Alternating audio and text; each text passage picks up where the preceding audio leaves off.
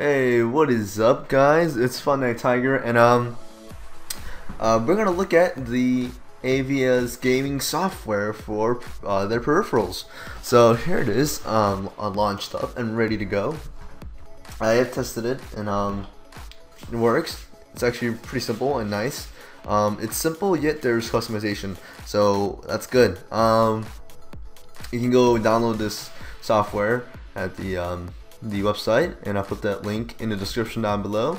So uh, let's begin. Um, as you can see, here is the main interface for the uh, software. Um, your cursor does change, which is a minor touch. I like. It's pretty cool. Um, here's some icons. Shows when you have a uh, Aivia product or, or per a peripheral plugged into your computer, um, it will start um, scanning, and then it will show up your um, peripheral in the uh, boxes, in one of the boxes. So um, as you can see, here's my um, Aivia Osmium keyboard, mechanical keyboard, and if you want to check that out, uh, I'll put that link in the description down below. So there you go, and here's the Aivia forums, uh, their official website, and updates. So there you go. Um, let's look at some tabs. So here's the Osmium tab, and then if you click on profiles, it's loading. Um, here, here is the Osmium's uh, uh, G switches or macros, as people would say. Um, so there you go.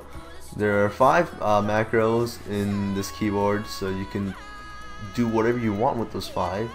So there's profiles, and up above here, you can see the different colors, and those are the profile switches. And um, each time I click, and when I'm clicking these right now, they're actually um, like my keyboard right now is actually changing color. Um, so that's pretty cool.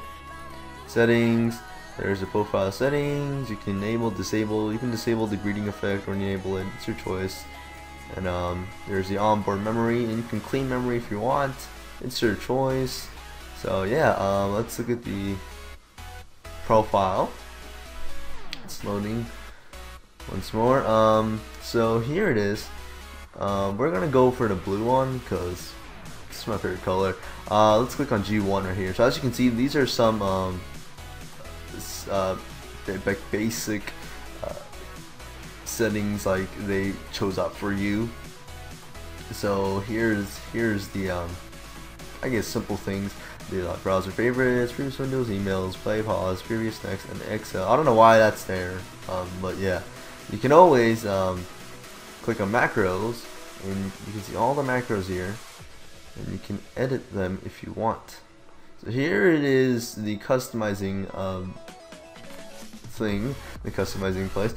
So um, you, as you can see you can see all the options for your own macros. So you can see the record button the use pause key uh, you can choose uh, whatever style you want. There's the auto detect delay time execute once my macros, import macros, and import. They spelled that wrong. Mar import mac macro. But um, yeah, and um, as you can see to the left, you can see some simple pictures they um they made for uh you, so you can you know assign whatever pictures you want. At least that's how it works, right? I don't know, but um, you can delete it. Okay, so, um, let's record, and um, I'm just gonna do, let's see, 1, 2, 3, 4, 5, 6, 7, 8, 9, and 0. Alright, so as you can see, let me stop this, you can clearly see a whole bunch of things going on. So at first you're gonna be like, whoa, what the hell is this? Um, especially to those who never had a uh, gaming keyboard. So I'm just gonna explain. Um, as you can see, press and hold key 1 and key 1 is the the number uh, keys on top. And um, right here below it I press I pressed it and uh, and it's and it shows up the time delay 122 milliseconds. So that's basically the the, the holding time. I press the key and then right here it says release key. So that's what it just means. And um, all these are 1 through 0 so there you go. And as you can see right here release key 9 um, I made a delay there so it shows up 1600 1620 milliseconds. And um, there you go. So you can you can actually customize a whole bunch of these. Like go to here and you can you can change the time delay to whatever you want. Like let's say if I wanted to be one at like 10 like 10 million and there you go um, so you can change to whatever you want whatever you desire.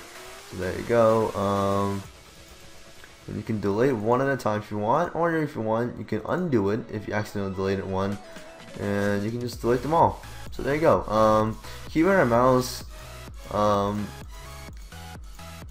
uh, basically these are styles for you to choose. Like for keyboard and mouse you can just use your you can uh, set your this uh, G1 you can set that into like only your keyboard and mouse keys or buttons. Or you can just choose it to be your keyboard or it could just be a mouse in this point or it could just be a regular mouse and there you go. So these are some of the few options like I said and there's auto detect time you can always and this and you can change it to be a fixed time which I don't really like.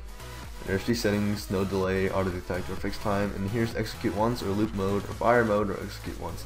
So loop mode is basically it's gonna go over and over again. And in fire mode it's um what is fire mode? I, I, hmm. I don't know what fire mode is. Let's see. Hmm.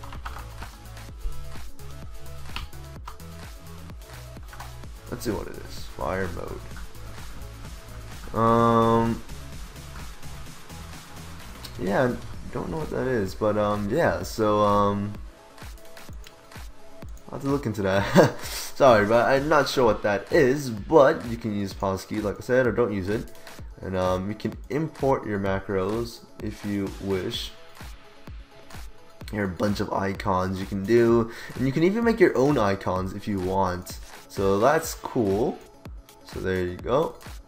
And you can export the macros if you want. And you can save them to whatever files you want. So a whole bunch of customizations and everything. You can click on your macros, my macros, to see um, your previous macros you made. So there's a lot of like customizations to your macros to you know so you can freely use how you want it to be so and then after, and if you finish after that um, you can you can press save and there you go. Right now it's empty but yeah.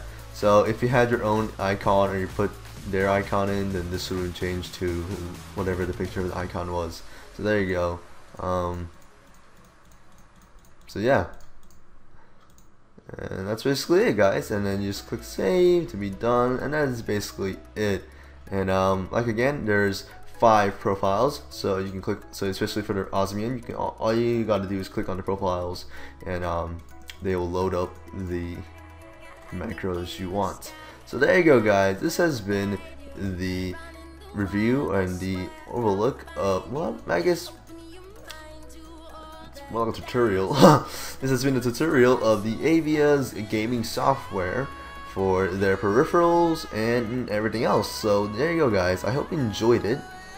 And if you did, please rate and comment and don't forget to favorite and subscribe because you know it's free and it, I really I really appreciate if you guys would subscribe it helps my channel out and it makes me you know wanna be motivated to make more videos for you guys. So there you go guys. Thanks for watching. This has been Funatic Tiger Gaming for Life. Signing off.